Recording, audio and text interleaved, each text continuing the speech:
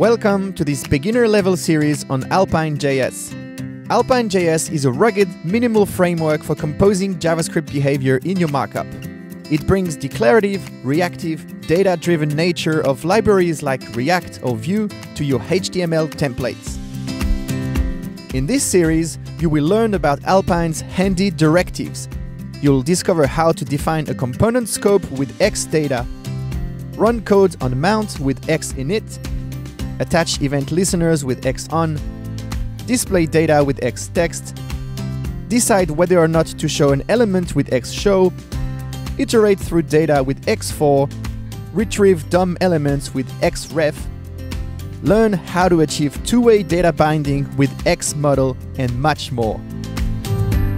You'll also learn how modifiers can be applied and chained to directives to provide additional functionality control the animation transition of entering and leaving DOM elements, debounce an event listener, etc.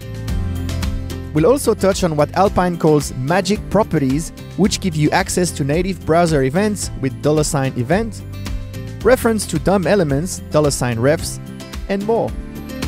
You'll gradually discover Alpine's API and syntax from building simple tabs to a mini app that fetches a dog picture based on a breed search field.